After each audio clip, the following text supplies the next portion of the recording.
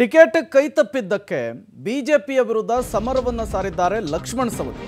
ಲಕ್ಷ್ಮಣ್ ಸವದಿ ಕಾಂಗ್ರೆಸ್ಗೆ ಸಾಹುಕಾರ್ಗೆ ಶುರುವಾಯಿತು ಟೆನ್ಷನ್.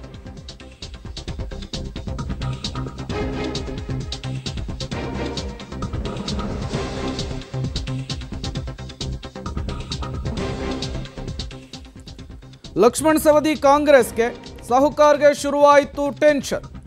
ಸವದಿ ಕಾಂಗ್ರೆಸ್ ಸೇರ್ತಾ ಇದ್ದಂತೆ ಬಿಜೆಪಿಯ ವಲಯದಲ್ಲಿ ಭಾರಿ ತಲ್ಲಣ ಶುರುವಾಗಿದೆ. ಅಥಣಿಗೆ ದಿಢೀರನೆ ಭೇಟಿ ಕೊಟ್ಟಿದ್ದಾರೆ ರಮೇಶ್ ಜಾರಕಿಹೊಳಿ ಅವರು.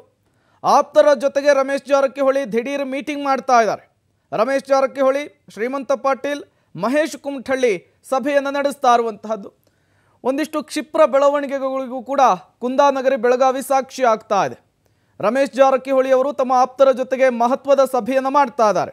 ಒಂದು ಕಡೆ ಲಕ್ಷ್ಮಣ್ ಸವದಿ ಇನ್ನೇನು ಕೆಲವೇ ಕೆಲವು ಕ್ಷಣಗಳಲ್ಲಿ ಅಧಿಕೃತವಾಗಿ ಕಾಂಗ್ರೆಸ್ಸನ್ನು ಸೇರ್ಪಡೆಯಾಗಲಿದ್ದಾರೆ. ಈಗಾಗಲೇ ಬಿಜೆಪಿಗೆ ರಿಸೈನ್ ಮಾಡಲಿದ್ದಾರೆ. ಶತ್ರುವಿನ ಶತ್ರು ಮಿತ್ರ ಅನ್ನುವಂತಹ ಕಾನ್ಸೆಪ್ಟ್ ಡಿ ಕೆ ಶಿವಕುಮಾರ್ ಅವರು ಇಲ್ಲಿ ಅಪ್ಲೈ ಮಾಡಿದ್ದಾರೆ. ಇನ್ನು ಡಿ ಕೆ ಶಿವಕುಮಾರ್ ಅವರಿಗೆ ಟಕ್ಕರನ್ನು ಕೊಡಬೇಕು ಸವದಿಯವರನ್ನು ಹೇಗೆ ಅಥಣಿಯಲ್ಲಿ ಎದುರಿಸಬೇಕು, ಕಾಗವಾಡ ಮತ್ತು ಅಥಣಿಯಲ್ಲಿ ತಮ್ಮ ಆಪ್ತರನ್ನು ಹೇಗೆ ರಕ್ಷಣೆ ಮಾಡಿಕೊಳ್ಬೇಕು ಅನ್ನುವಂತಹ ನಿಟ್ಟಿನಲ್ಲಿ ರಮೇಶ್ ಜಾರಕಿಹೊಳಿ, ಬೆಳಗಾವಿಯ ಸಾಹುಕಾರ್ ದೊಡ್ಡ ಮಟ್ಟದ ಸ್ಟ್ರಾಟರ್ಜಿಯನ್ನು ಆಪ್ತರ ಸಭೆಯಲ್ಲಿ ಮಾಡ್ತಿದ್ದಾರೆ.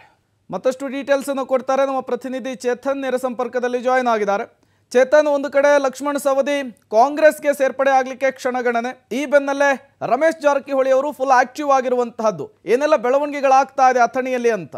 ಫ್ರೇಮ್ ಖಂಡಿತ, ಖಂಡಿತವಾಗಿಯೂ ಕೂಡ ಅಥಣಿಯಲ್ಲಿ ಸಾಕಷ್ಟು ಬೆಳವಣಿಗೆಗಳು ಆಗ್ತಿರುವಂಥದ್ದು ಒಂದು ಕಡೆ ಬೆಂಗಳೂರಿನಲ್ಲಿ ಏನು ಮಾಜಿ D C M, B J P ಪಕ್ಷ ತೊರೆದು ಕಾಂಗ್ರೆಸ್ ಸೇರೋದಕ್ಕೆ ಎಲ್ಲ ಸಿದ್ಧತೆಗಳನ್ನ ಮಾಡಿಕೊಂಡಿದ್ದಾರೆ. ಅದರಲ್ಲೂ ಕೂಡ ತಮ್ಮ ಎಲ್ಲ ಏನು ಬಿ ಜೆ ಪಿಯ ಸ್ಥಾನಗಳಿಗೆ ರಾಜೀನಾಮೆ ನೀಡಿರುವಂಥದ್ದು. ಕೆಲವು ಕ್ಷಣಗಳಲ್ಲಿ ಏನು ಎಂ ಎಲ್ ಸಿ ಸ್ಥಾನಕ್ಕೂ ಕೂಡ ರಾಜೀನಾಮೆ ನೀಡ್ತಾ ಇದ್ದಾರೆ.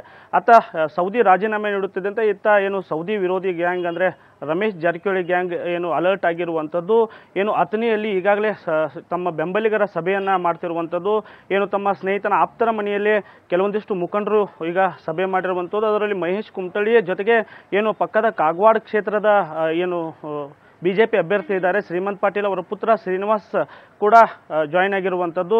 ಹೀಗಾಗಿ ಒಂದು ರೀತಿಯಾದಂಥ ಆಕ್ಟಿವ್ ಆಗಿ ಯಾವ ರೀತಿಯಾಗಿ ನಮ್ಮ ಸ್ಟ್ರಾಟಜಿ ಇರಬೇಕು, ಚುನಾವಣೆಯಲ್ಲಿ ಅನ್ನೋ ಪ್ಲ್ಯಾನನ್ನು ರಮೇಶ್ ಜಾರಕಿಹೊಳಿ ಆ್ಯಂಡ್ ಗ್ಯಾಂಗ್ ಮಾಡ್ತಿರುವಂಥದ್ದು. ಇನ್ನು, ಇನ್ನೇನು ಕೆಲವೇ ಹೊತ್ತಿನಲ್ಲಿ ಅಥಣಿಯಲ್ಲಿ ಏನು ಶಿವನಿಗೆ ಕಾರ್ಯಾಲಯ ಇದೆ. ಕಾರ್ಯಾಲಯದಲ್ಲಿ ಏನು ಅವರ ಬೆಂಬಲಿಗರು, ಅದರಲ್ಲಿ ಪ್ರಮುಖ ಪದಾಧಿಕಾರಿಗಳು ಮತ್ತು ಕಾರ್ಯಕರ್ತರ ಸಭೆಯನ್ನು ಕೂಡ ಮಾಡಲಿದ್ದಾರೆ.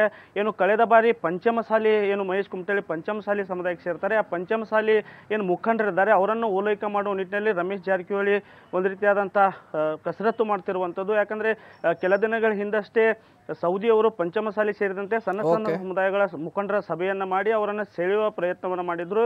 ಈಗ ಅವುಗಳಿಗೆ ಹೇಗೆ ಸ್ಟಾಪ್ ಮಾಡಬೇಕು? ಅವರ ಆ ಮುಖಂಡರ ಸೌದಿ ಅವರು ಏನು ಗಮನ ಇಟ್ಟಿರ್ತಕ್ಕಂಥ ಮುಖಂಡರನ್ನ ಯಾವ ರೀತಿ ಸೆಳೆಯಬೇಕು ಅನ್ನೋ ಪ್ಲಾನ್ ಅನ್ನ ರಮೇಶ್ ಜಾರಕಿಹೊಳಿ ಹಾಗೂ ಅವರ ಟೀಮ್ ಮಾಡ್ತಿರುವಂತದ್ದು ಪ್ರೇಮ್.